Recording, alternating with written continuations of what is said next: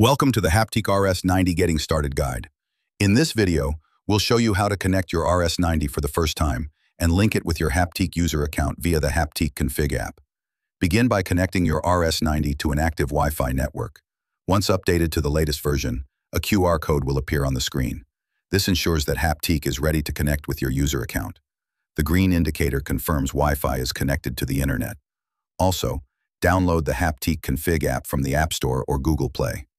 Open the app and sign in using your Haptique account. You can create one easily with your Google, Apple, or email ID.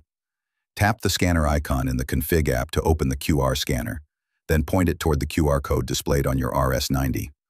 A four-digit PIN will appear on the RS90 screen. Enter it into the Config app to complete pairing. Your RS90 is now successfully connected.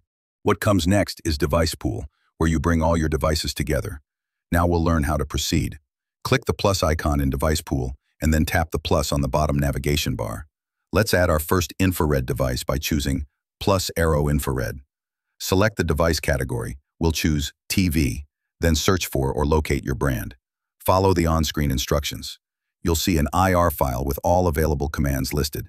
Make sure you've selected the Haptique that's connected to this account. On the Haptique, go to Settings, Pair IR Device.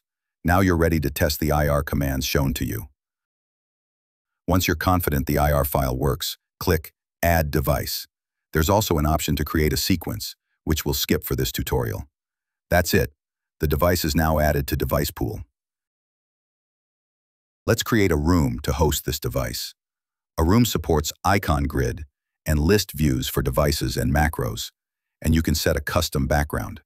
Choose the Haptique units where this room should be available. One room can be shared with many Haptiques. Enter the room by tapping it. You'll see the selected grid.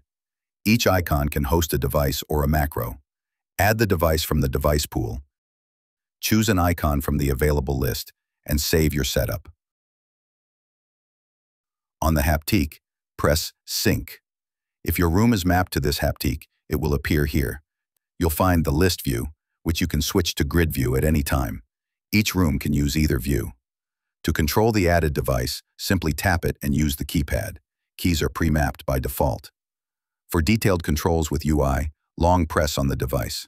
The layout is fixed for now and will gain custom options in future updates. You can control the selected device with touch and keypad simultaneously.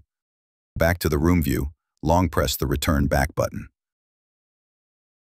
Thanks for watching your first tutorial about the Haptique system. This is the first video in the series. Next, Let's explore more room functions and how to configure them.